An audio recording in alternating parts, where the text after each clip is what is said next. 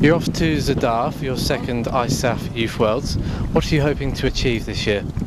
Uh, I hope to uh, get better from my last uh, year points and my scores, and uh, yes, train a lot and uh, achieve on the first half. And what did the ISAF Youth Worlds teach you last year? Uh, they teach me to how to uh, how to get the how to say how to get better on the on the races. Uh, I was uh, I wasn't so experienced, and after that I got a lot of uh, experiences from there. I think it's helped you prepare for senior competition. Yeah, a lot. And at this year's event, where's the ideal place for you to finish? Uh, I think uh, 30 maybe.